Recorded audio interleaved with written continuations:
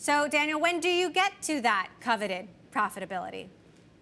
Well, we're turning a corner right now. We've let it be known that within a matter of weeks we will see peak losses. So our losses are going to begin to edge downwards. Already in Q4, we're going to see shrinking losses. Even as our business continues to grow, we reported 77% revenue growth year on year. So we're seeing strong growth and shrinking losses. So we're very much on the path. And this is really a reflection of the business doing what it was designed to do. This is the output of many product launches, many market launches, 12,000 pushes of production software just during the course of the last year alone. And all of these investments are beginning to pay off. It's very gratifying. Now, you said you've moderated spending and the pace of hiring, and that you basically have enough gas in the tank, you know, not to need any additional capital and to subsist on, you know, the capital that you have until you get to that point. Um, what's your outlook if the macro environment continues to be very challenged, if we go into a recession?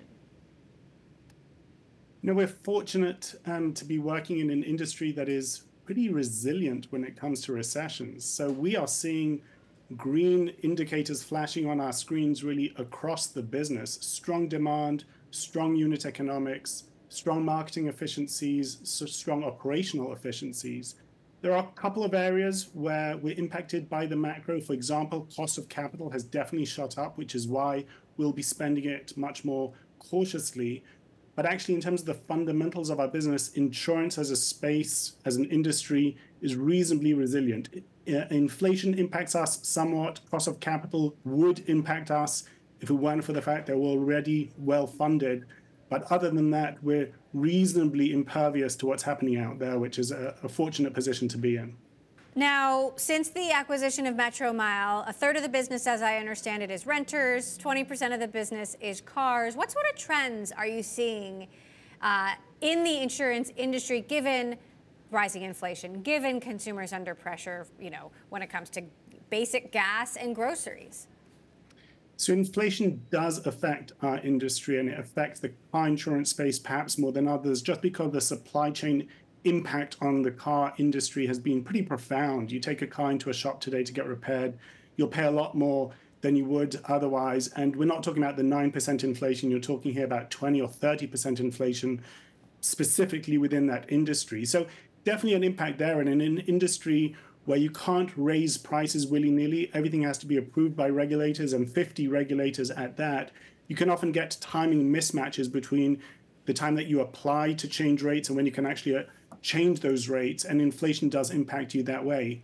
We do have the advantage now, having acquired Metromile, though, of being in a unique position of having a far richer, more textured, more precise data set on which to price. So the industry at large uses broad stroke proxies, gender, credit scores, marital status. Metromile has really been spending the last 10 years with precision sensors driving billions of miles so that they can price and really estimate the risk of every mile driven for every individual insured. And having inherited all of that data and now ingesting it into the Lemonade tech stack, we should be in a position to have an advantage play even in the car space, even under these relatively duress conditions that the industry is experiencing. Yeah.